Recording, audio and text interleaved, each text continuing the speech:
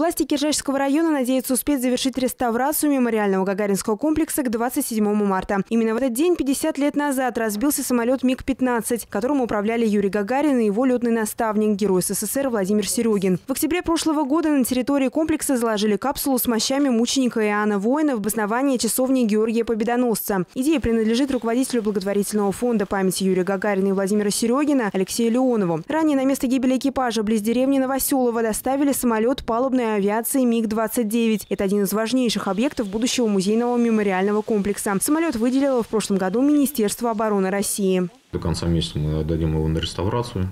Вот, э, и я думаю, что будет такой взлетный палубный, так скажем, самолет, который э, взлетает, э, его покрасит, его сделать. Я думаю, что мы должны успеть. Но если что-то не успеем, то будем доделать потом, потому что все-таки погодные условия не всегда позволяют нам сделать все вовремя. Хотя, конечно, мы рассчитывали, что вся документация рабочая будет готова фондом. Но нам, к сожалению, пришлось делать все заново, э, из-за этого сроки сдвинулись на зиму. Но мы, тем не менее, делаем сейчас.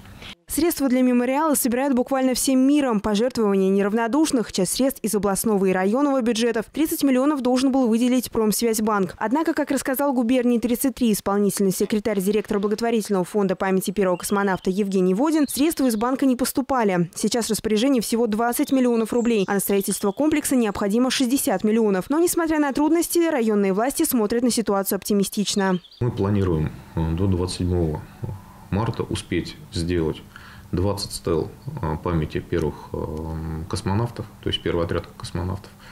Мы планируем сделать входную группу. Планируется также сделать трибуна с бюстами космонавтов, а, космонавта первого космонавта Гагарина и его летного наставника Серегина, то есть на разорванной звезде, то есть так достаточно монументальная. Угу. Ну, там, если не ошибаюсь, около 11 метров только звезда одна будет.